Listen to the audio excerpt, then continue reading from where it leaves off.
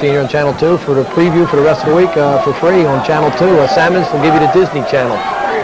And my kind of my kind of TV. Kenny Williams, spring out right, under pressure, looking, looking, lobs the ball out to Mike O'Brien, but only a good defensive play kept uh, that from being a reception. That was Joe McLaughlin. Made a real good hit, good timing here. The ball was on the fingertips of the receiver, and McLaughlin came up and made a real strong hit. And Jordan